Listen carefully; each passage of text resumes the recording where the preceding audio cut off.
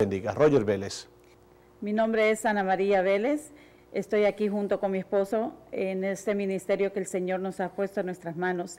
Tenemos ministerio de jóvenes, damas, caballeros, juveniles. Estamos aquí para ayudarles en lo que necesitan. Los invitamos a que vengan y, se gocen con nosotros juntamente con nuestros hermanos. Que el Señor les bendiga. Feliz Navidad y próspero Año Nuevo son los deseos de la Iglesia de la Biblia y de su programa televisivo El Evangelio en Acción. Que este año que está por terminar sea para reflexionar de nuestra vida del 2009 y que el año que viene sea con el propósito de no confiar en esta vida, sino en la vida eterna que solo se encuentra en Cristo Jesús. Esa es la verdadera razón de la Navidad. Un Salvador nos es dado a través del Hijo de Dios, Cristo Jesús. Que el año que viene pueda ser parte de esta familia grande en el Señor. Ven, gózate con nosotros y te aseguro que serás de gran bendición tú y toda tu familia. Recuerda que el que busca a Dios haya la paz y la vida eterna. Que el Señor les bendiga. Dice, bienaventurado el varón que no anduvo en consejo de malos, ni estuvo en camino de pecadores, ni en silla de escarnecedores se ha sentado, sino que la ley de Jehová está a su delicia y en su ley medita de día y de noche. El texto que vamos a usar es, será como árbol plantado junto a las corrientes de agua, que da su fruto en su tiempo, y su hoja no cae, y todo lo que hace prosperará. Salmo 52 versículo 8, dice, nombre del Padre, Hijo, Espíritu Santo, amén. Pero yo estoy como olivo verde en la casa de Dios. En la misericordia de Dios confío eternamente y para siempre. Te alabaré para siempre, porque lo que has hecho así, porque, porque los has hecho así. Esperaré en tu nombre porque es bueno delante de los santos. Salmo 92 no lo tiene que buscar, yo lo busco. 92, 12 dice, el justo florecerá como la palmera, crecerá como cedro en el Líbano, plantados en la casa de Jehová, en los atrios de nuestro Dios florecerán. Aún en la vejez fructificarán, estarán vigorosos y verdes, para anunciar que Jehová es mi fortaleza, es recto y que en él no hay injusticia. Aleluya.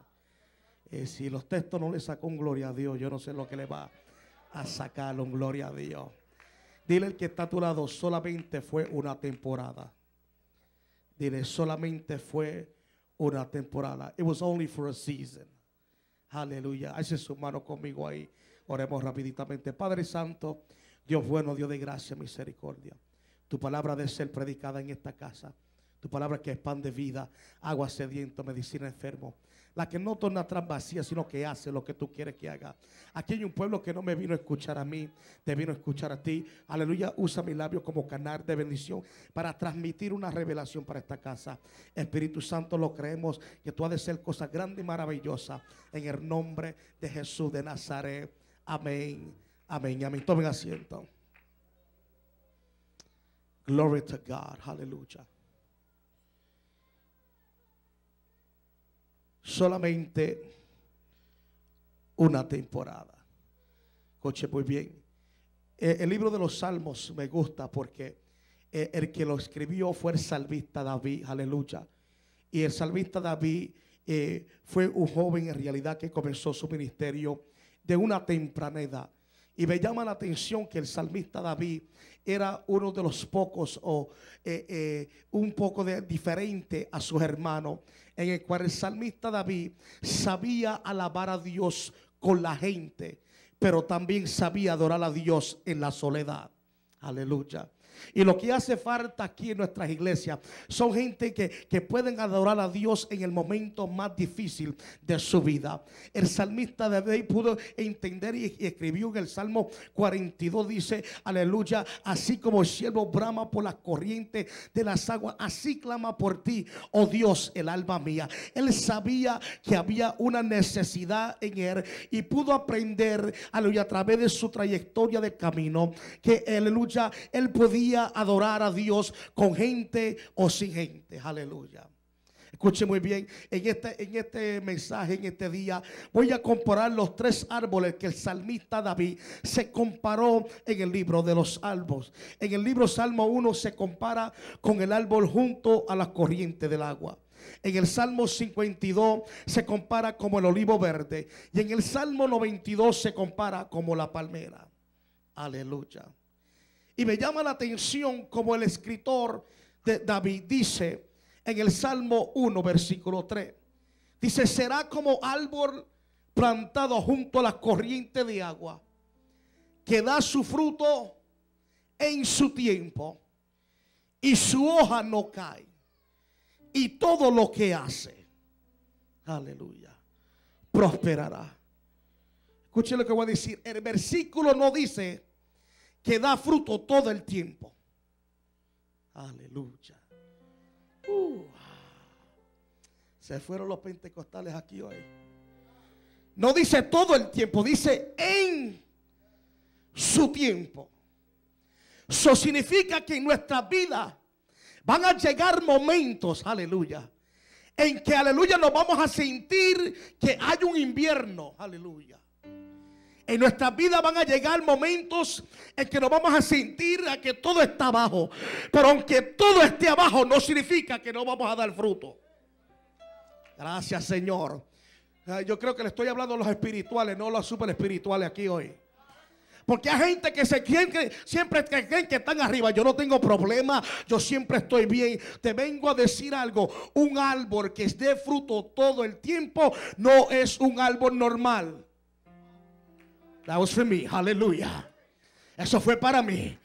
Aleluya, en Puerto Rico siempre está caliente. Yo me imagino que eh, eh, en Nicaragua y estos sitios siempre está caliente, pero el árbol no siempre da fruto todo el tiempo. Hay una temporada específica que el árbol da su fruto. ¿A quien le vine a predicar aquí hoy? A lo mejor la gente se está riendo porque tú estás pasando un, invierno, pero dile, tú sabes algo, esto es solamente una temporada. Ahora estoy frío, ahora no tengo hoja ya mismo llega mi, uh, dile que está tu lado. Esto es solamente una temporada. Esto es solamente una temporada. Estoy callado ahora. Estoy llorando ahora. Estoy triste ahora. Pero el salmista dijo: Toda la noche me la voy a pasar llorando. Pero el gozo viene por la mañana.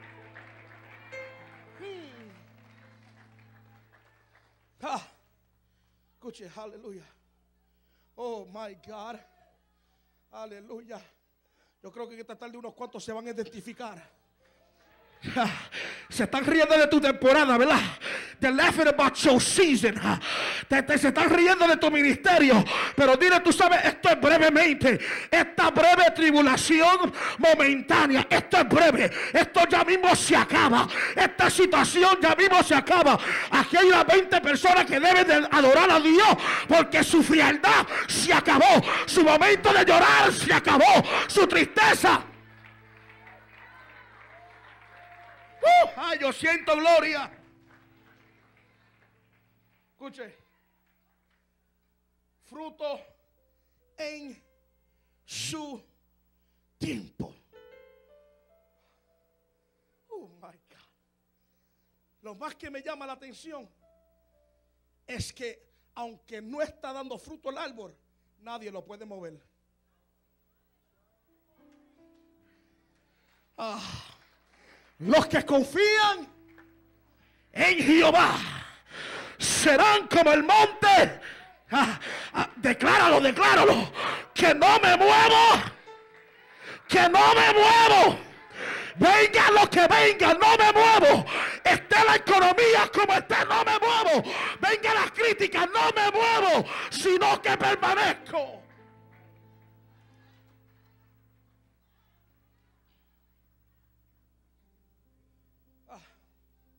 El árbol no se muere. ¿Tú sabes por qué? ¿O no se mueve? Porque el árbol sabe que es solamente una temporada. He knows inside himself that what he's going through is just a season. Uh, you better tell somebody, I'm coming back. Hallelujah. Dile que está a tu lado, yo voy a volver. Aleluya. Voy a volver dar fruto. Yo sé que el diablo se levantó como río, pero te olvidaste de algo, que el Espíritu de Jehová levantará bandera en contra de Aleluya. Vengo a hablarle a la iglesia, la Biblia y la gente que el diablo se levantó para el 2009 y te ha hecho la vida imposible y te quitó esto y te quitó lo otro. Tranquilo, mujer de Dios. Tranquilo. Eh, fue una temporada solamente. Ya mismo llega el gozo. Ya mismo llega la salvación. Ya mismo llega el momento de Dios para tu vida.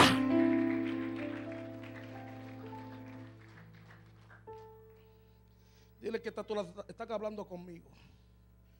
Dile, dile.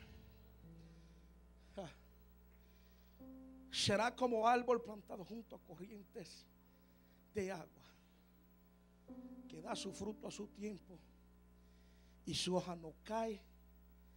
Todo lo que hace prosperará. Pero no todos son árboles juntos a las corrientes de agua. Hay otros que son como el Salmo 52, versículo 8, como olivo verde. Ay, ay, ay. Ustedes me van a hacer la predicar esta tarde aquí. Aleluya. Ah, ¿les, puedo ayudar? ¿Les puedo ayudar? Ok, sí, ok. Eh, la semilla, está ready, está ready. Ok, estamos aquí. La semilla del olivo verde es la única semilla que tú la plantas en tierra buena y no te produce. Se me quedaron mirando la gente aquí. Hello, ¿estamos aquí? Ah, no te produce en tierra buena. Casi siempre todo el mundo está buscando una tierra buena para poner su semilla. Pero el olivo es plantado en tierra que nadie espera que produzca. Ahí comienza a producir. ¿Qué tú me quieres enseñar, predicador? Aleluya. Hay circunstancias que la gente espera que de ti no salga un gloria a Dios. Hay circunstancias que la gente dice, de aquí se va de la iglesia este muchacho. De aquí entregan los ministerios. De aquí se va, aleluya, entrega todo. Pero ellos cuando menos se esperen, tú dices, mi alma alaba la gloria de Jehová. Eh, ellos dicen, tú en el momento que tú menos esperas, ella espera, tú dices, tú sabes algo, con todo esto yo voy a alabar a Dios. Porque eh, eh, yo soy como olivo verde. Cuando tú menos esperes que yo brinque, yo voy a brincar. Cuando tú menos esperes que yo adore, yo voy a adorar. Habrá unas personas en esta casa que serán como olivo verde. Aleluya, que la gente lo plantaron y dijeron, este año ellos se rinden. Dile, no me rindo nada. Dios me plantó. Ah. en tierra áspera, en tierra que nadie espere que produzca, ahí, aleluya, crece el olivo verde. El salmista dijo, el salmista entendía algo que siempre iban a haber gente que lo iban a criticar. Él entendía que siempre iban a haber gente que lo iban a señalar, gente que lo iban a mirar de arriba para abajo, gente que no iban a, creer en su ministerio, pero él no le importó eso. Él dijo, tú sabes algo, soy como el olivo verde. Ah, ¿Cuántos son olivos? Pastor, mira, ¿cuántos son olivos? Ok, ok. Por los 50 que dijeron que son olivos, prepárense ahora. El olivo verde, una vez que es plantado en tierra, se tarda 15 a 20 años. Se fueron los amenes ahí, viste. Para dar el primer fruto. 15 to 20 years. Aleluya. Para, se me fueron los predicadores ahí. Ah. Esto no es un testito ni dos testitos, esto es esperar. Hello. Esto es permanecer ahí hasta que deje el fruto que tenga que dar. Ay, nadie quiso decir amén. Aleluya. 15 to 20. Para dar un fruto. Dile que está todo hace mucho tiempo. That's a lot of time to wait. Pero tú sabes el secreto de esto. Si esto no le saca un gloria a Dios. Ah, yo no sé qué le va a sacar. Después que el olivo da su primer fruto. Oh, you better get ready. Está 800 años produciendo. Eso fue para ti, pastor. Dile que está a tu lado. Voy a esperar, voy a esperar. Voy a esperar. Venga lo que venga. Voy a esperar. Porque una vez que predique mi primer mensaje, una vez que cante mi primer cántico, una vez que diga mi primera profecía, una vez que Dios me abra una puerta, voy a estar mucho tiempo produciendo. Dile el diablo, ya mismo llega mi momento. Ya mismo llega mi hora. Ya mismo, ya mismo. Habrá alguien que alce su mano.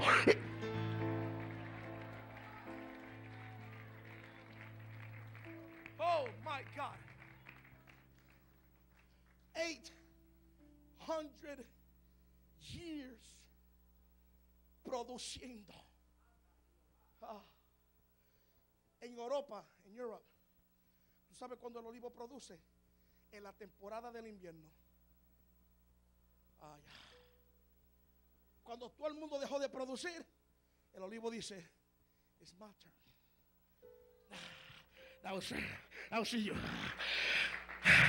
Todos los árboles dejaron de producir. Nadie quiere producir en el invierno. Y el olivo dice, ahora llegó mi hora. Cuando nadie quiere adorar, yo voy a adorar. Cuando nadie quiere alzar la mano, yo voy a alzar la mano. Cuando nadie quiere predicar, aquí estoy yo. Soy como ni dónde están los olivos. La gente que se atreven a adorar a Dios, aunque las circunstancias a su alrededor digan cosas negativas. That was some good word. Pero ahora crece el olivo. Bien, bien lindo. Pero para sacarle aceite no es arriba. Dile que está a tu lado, te tienen que bajar abajo. Se fueron los amenes ahí. El aceite no es producido allá arriba. El aceite es producido allá abajo. ¿Y cómo se baja un olivo de un árbol? ¿Cómo es? A cantazo. Se fueron. ¿viste? Tienen que agarrarle una vara y soplar a cantazo el árbol. Por eso que la Biblia dice, el salmista dijo, aleluya, terminando el Salmo 23, tu vara y tu callado me infundirán aliento. La palabra infundir significa producir. Tu vara y tu callado produzque, produce que yo respire. ¿Y qué es la vara? ¿Y qué es el callado? La palabra. Yo respiro por la palabra. Ah, my God. Ay, Yo no estoy respirando porque quiero respirar. Sino estoy respirando porque su vara y su callado produce que yo respire. Ahora, lo azotan arriba, lo bajan abajo y ahora se le tienen que parar encima. Nadie quiere adorar a Dios ahí. Lo tienen que machucar. You gotta step on it. Uh. Pero la gente no entiende que ese es el proceso para que aceite ah, salga de tu vida. Un escritor dijo, tus amigos te alejan de Dios más tus enemigos te acercan a Él. Pues déjame decirles otra vez. Tus amigos te alejan de Dios, más tus enemigos te acercan a Él. Si tienes 100 enemigos, búscate 100 más. Aleluya. Porque mientras más enemigos tendrás, te van a acercar más a, a Dios. Pero tú sabes lo grande de esto, que mi Biblia dice que Él adereza mesa delante de mí en presencia de mis angustiadores. Él unge mi cabeza con aceite. ¿Dónde? En presencia de mis angustiadores. Ay, yo siento presencia de Jehová. Habrá alguien que se atreva a adorar a Dios por eso, por eso, por eso. La gente, ah, mi alma alaba la gloria.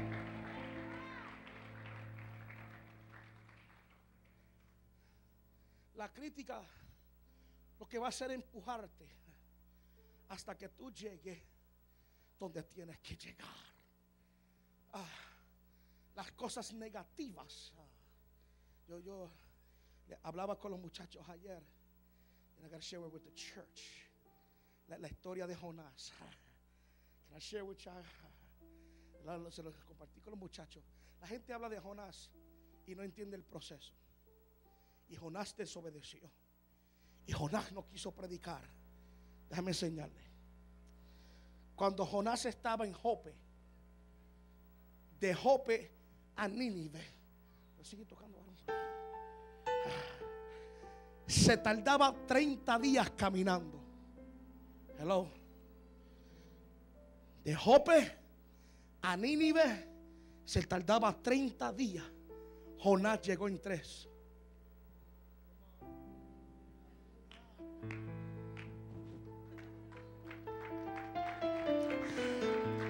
¿Cómo llegó en tres?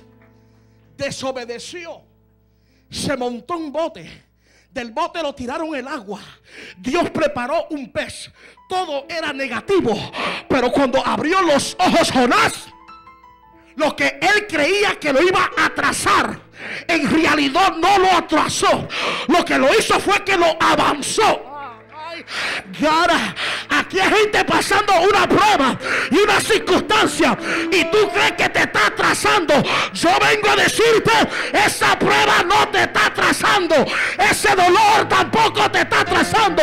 Lo que está haciendo ese dolor es empujándote a que te- tú llegues a donde tienes que llegar. Uh, Ay, ay, ay, habrá hay alguien que adore a Dios por eso, por eso. Está llegando, está llegando, está llegando, está llegando donde tienes que llegar.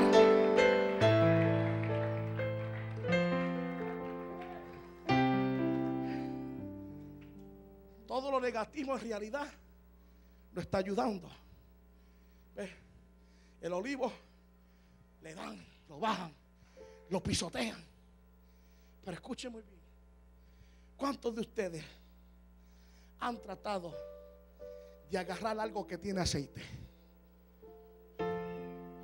¿Qué sucede? ¿Ah? Respala, ¿verdad? Right? You can't grab it. Algo que tiene unción. Ay, ay, ay. Es muy difícil que algo lo agarre. Los que tienen unción, aleluya. Los que son como los olivos ya procesados. Cuando viene la crítica. Cuando vienen los problemas. Where you go, no te pueden agarrar. They can't touch you, baby. They can't touch you. Porque eres procesado. Cuando llega la circunstancia, no te puede agarrar. Cuando llega el asiento a la presencia del Señor, dile que está a tu lado. Nada me va a tocar, nada me va a tocar. Soy como el olivo, soy como el olivo, soy como el olivo, soy como el olivo.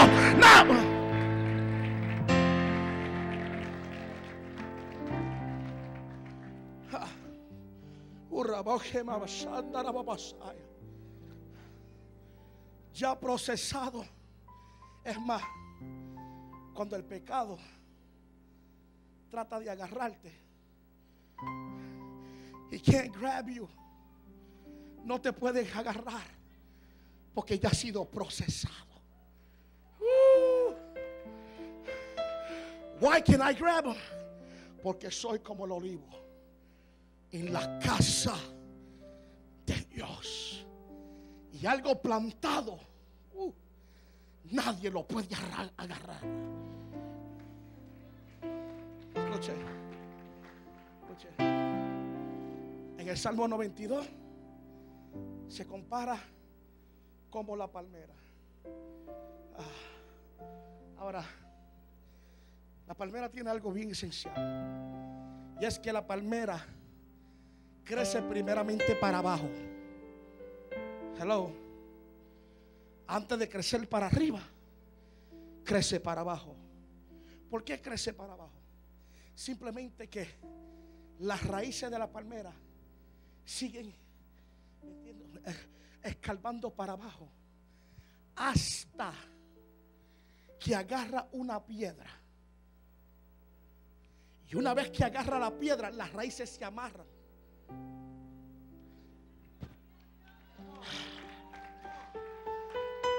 Se amarran a la piedra. Y una vez que están amarrados a la piedra, entonces comienza a crecer para arriba.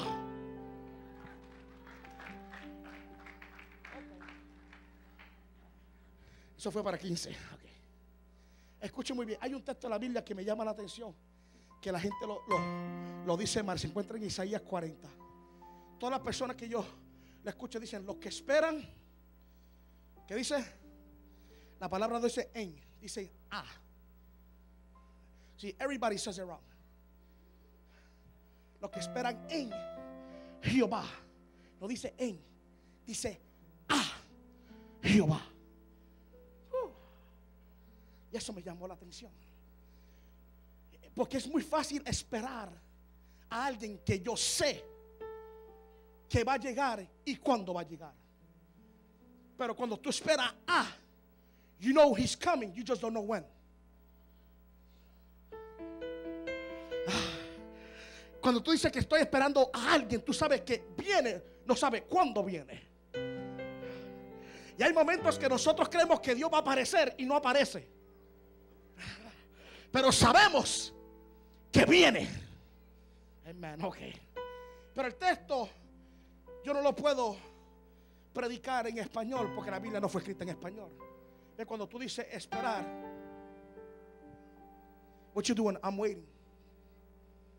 What you waiting on the Lord? Estoy esperando a Jehová. Pero escucha muy bien. En Isaías 40, en ese texto específico, la palabra esperar significa en el hebreo atar o ligar. O en otras palabras, amarrar.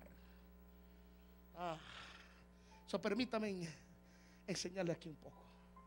Voy a sacar la palabra esperar y su definición es atar, ligar o amarrar. Lo que se amarran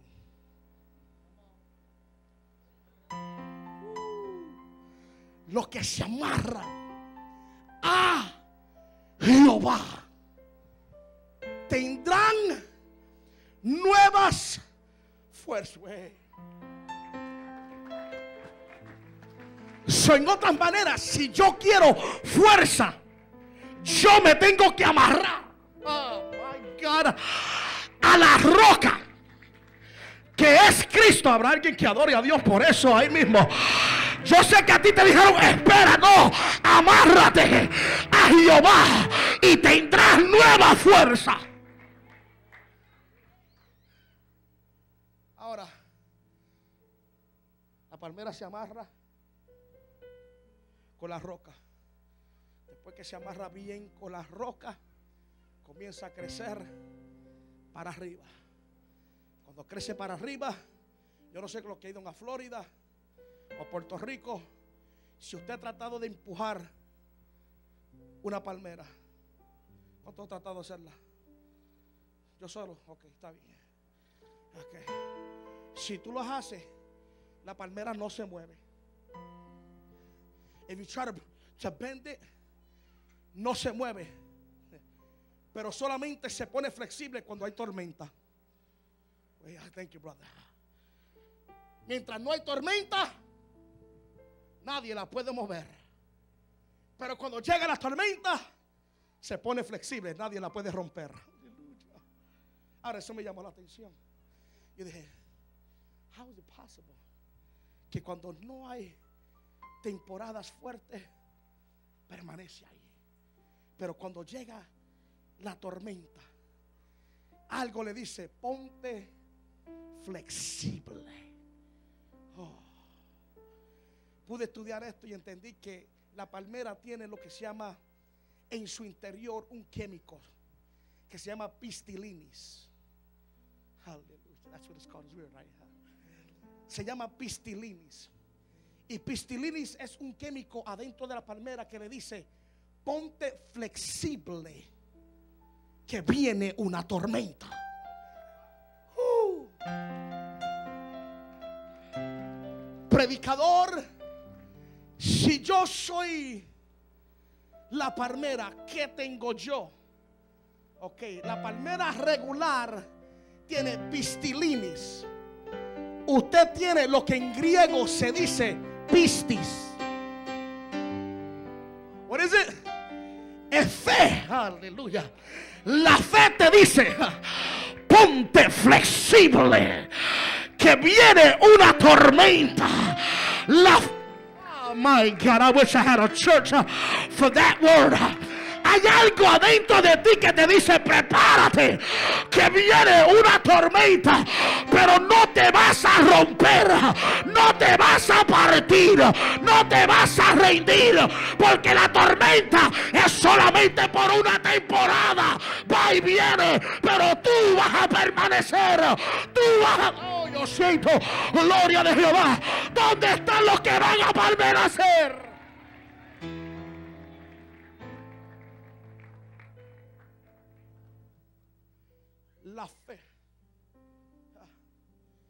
Puedo enseñarles ayer. Ayer le enseñé un poco de fe. Déjame enseñarle un poquito más de lo que es fe. ¿Por qué?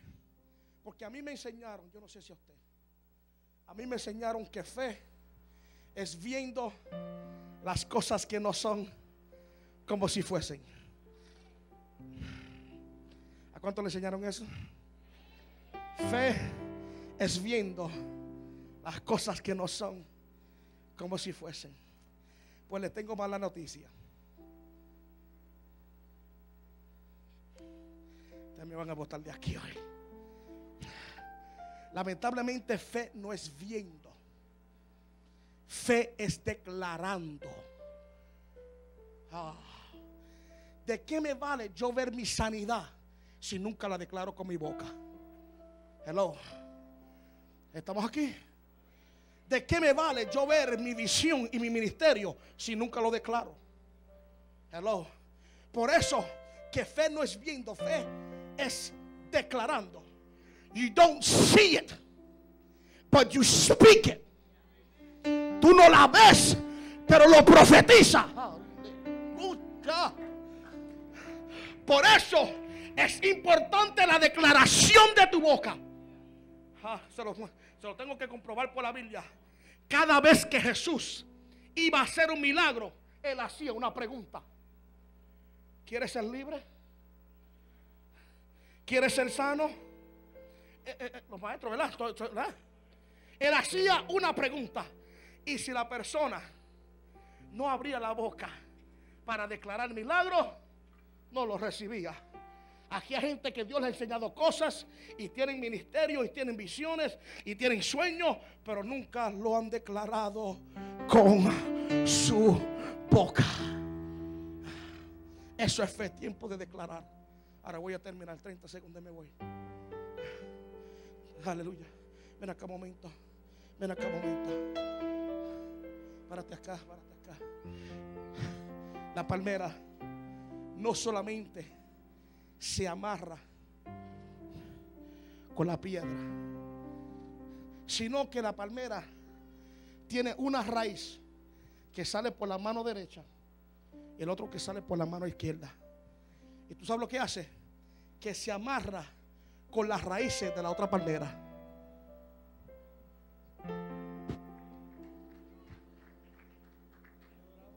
Para los dos que dieron aplauso. Esto es para usted. Agarra ahí. Se amarra palmera con palmera. Uh.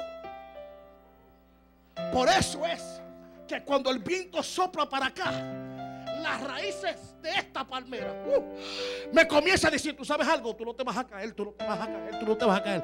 Y si el viento sopla para allá, las palmeras, no, you ain't moving. Ah, habrá alguien que se atreva a adorar a Dios por eso. Por eso hace falta la unidad en nuestras iglesias. Ah, ¿dónde están las palmeras? ¿Dónde están las palmeras? Diciendo, tú sabes algo, yo creo en tu ministerio, yo creo en tu llamado, yo creo que Dios te puede salvar. Aleluya, aunque caíste, te voy a levantar. Ay, ay, ay, dile que está a tu lado, te levanto, te levanto, te voy a ayudar hoy, te ayudo hoy, te ayudo hoy. No te quedarás postrado. Alguien que adore a Dios. Por eso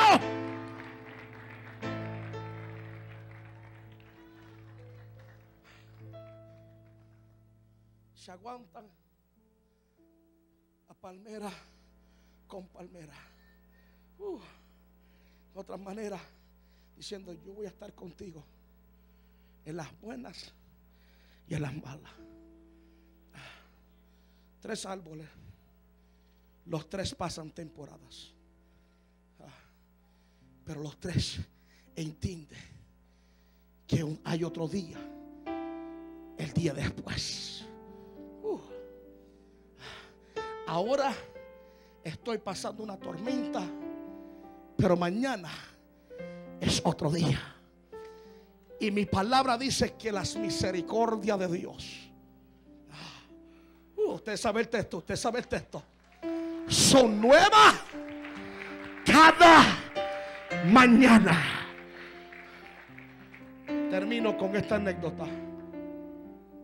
Un padre tiene cuatro hijos tiene cuatro hijos.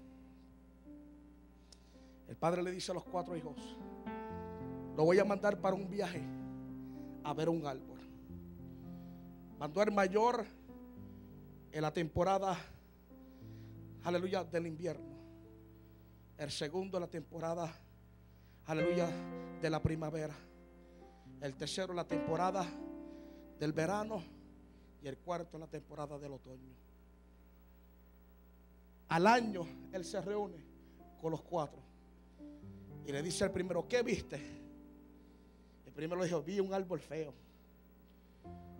No tenía hojas. No tenía fruto. Estaba feo. Está bien. Al segundo le dice, ¿qué viste? Vi un árbol. Estaba así. Unas poquitas de hojas. Estaba no muy lindo, no muy feo. Está bien. Al tercero le dijo, ¿qué viste? Dijo, vi un árbol con muchas hojas, pero no tenía fruto. Y al cuarto dijo, ¿qué viste? Dije, vi un árbol bello, hermoso, que huelía y tenía frutos. Y él dijo, está bien. Yo quiero que te entienda, le dijo a los cuatro niños, a los cuatro hijos. Es el mismo árbol en cuatro diferentes temporadas por eso que el árbol no se puede juzgar por la temporada que está pasando.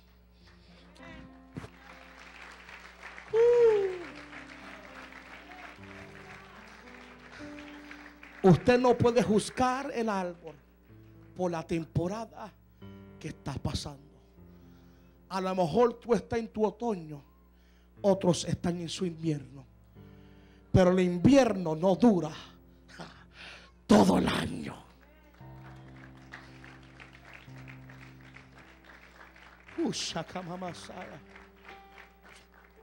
Si usted se lleva algo hoy, llévese eso. No puede juzgar a nadie por la temporada que estén pasando. Tú a lo mejor estás alegre, otros están tristes. Pero llegará el día que otros, que tú estarás tristes y otros estarán alegres. Pero it's only a season es solamente por una temporada. Yo lo he entendido así. Yo no siempre estoy en 100.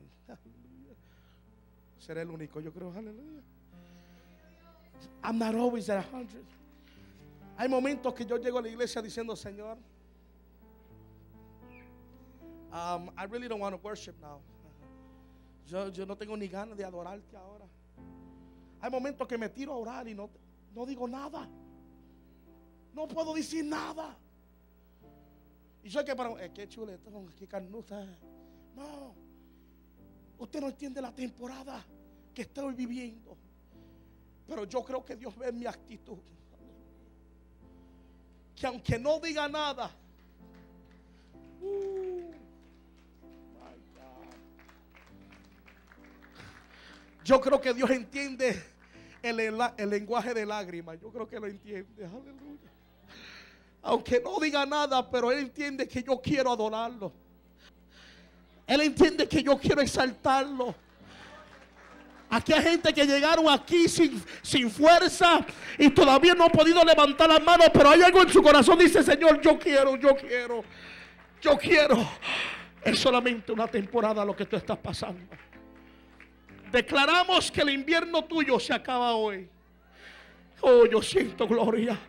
Declaramos que tu tristeza Dios la cambia en baile hoy. Declaramos que Dios te cambia la aflicción de tu vida. Dios la cambia hoy. Es solamente una temporada. Iglesia, la Biblia, esa es la palabra que Dios me dio para esta casa hoy. No sé cuál es tu temporada. Pero lo que sí sé que los tres árboles estaban plantados en la casa de Jehová. Uh. y los tres prosperaban en la casa de Jehová. Y dice de la primera, aún en su vejez. Oh. Uh, esos son para los ancianos. Aún en su vejez estarán vigorosos y verdes. Porque en Dios no hay injusticia. Vuelve, dile que está a tu lado solamente una temporada. Estemos de pies en este día. Bajemos nuestras cabezas.